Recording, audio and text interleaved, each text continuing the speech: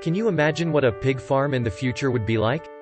A company in Ezhou City, central China's Hubei province, is raising pigs in a 26-story building.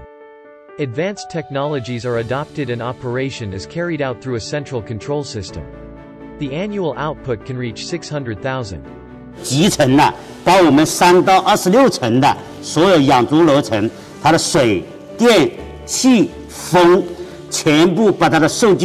全部集成到我们的一楼中控系统。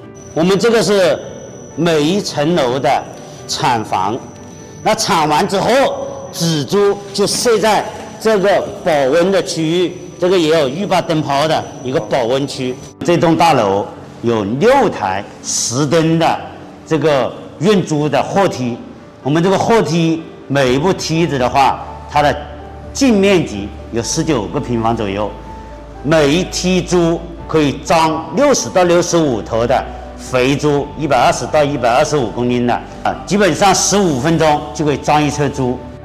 Now, the company has brought 3,700 breeding pigs into the building, and will increase the number to 20,000 by the end of this year.